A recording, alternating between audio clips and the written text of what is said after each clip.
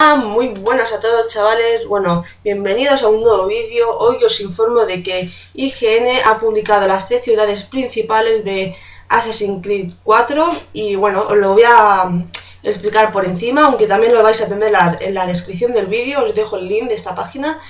Y bueno, os explico la primera, es la Habana, y bueno, estará plaga de edificios y monumentos, las calles serán estrechas, así que los tejados tendrán un papel importante a la hora de desplazarse. Y también está inspirado en Venecia, de Assassin's Creed 2, con Exi Auditore, que me encanta esta entrega, es una de las mejores para mí. Y bueno, segundo está Kingston. Tendrá combinado lo urbano con la naturaleza, vamos, que entre las calles vamos encontrando florecitas, árboles, arbustos, y también habrá muchos cambios de altura y una parte de, de esta ciudad de colinas y vistas.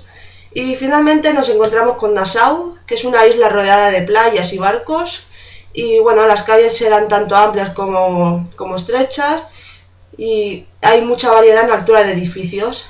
Yo creo que esta va a ser la principal, la que va a tener más historia, ya que por lo que he visto en el tráiler eh, es más de pirata, de barcos y cosas así que como las anteriores entregas. Yo creo que se basará más en la isla, en Nassau, en este mapa, que los demás, pero bueno, no lo sabemos, a ver, a ver qué pasa, qué nos dicen, y yo seguiré informando como siempre. Y esto es todo por hoy, muchísimas gracias, hasta la próxima.